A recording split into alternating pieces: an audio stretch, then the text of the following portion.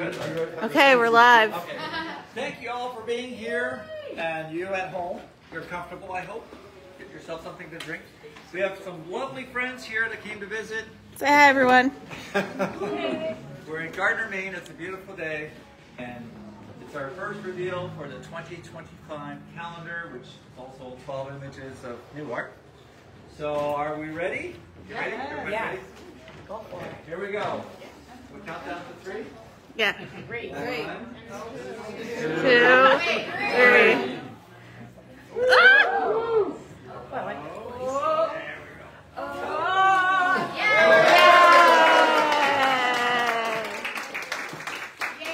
Our new image here is of uh, the chairs. Oh, yeah. So, have that. And uh, Portland Head Light there in the winter January there. The stormy weather we've had recently. And we have February, we have the Puffin. Puffin takes flight. And a crooked frame print here. Um, this is called, this large one's called uh, New Day. And this one's called, Oh, buoy. oh, Buoy, yeah, that's right. it is a wider image as a frame print. This one's above Sebago Lake. This place is in Skowhegan. It's a uh, organic farm, and they have these amazing peonies.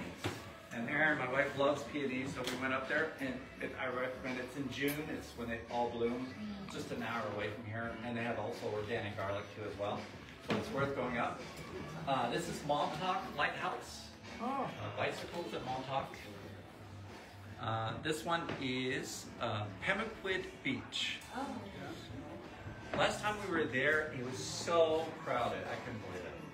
But I just wanted a, a serene, peaceful place. This is called uh, Beach Break.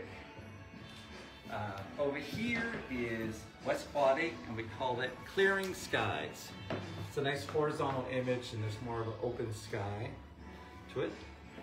Um, October image is Hallowell chairs, and that's just somebody just chilling, drinking their coffee on the riverside on the Kennebec River.